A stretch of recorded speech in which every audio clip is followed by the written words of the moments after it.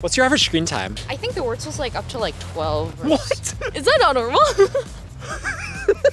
this should not be publicized.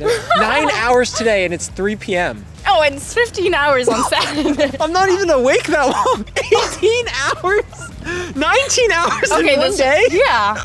What? And this is like not including my time on my laptop.